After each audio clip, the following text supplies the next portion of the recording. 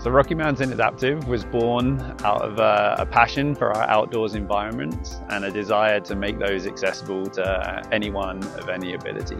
Our aim predominantly is just to make sure there is access and inclusion to individuals identifying as living with disabilities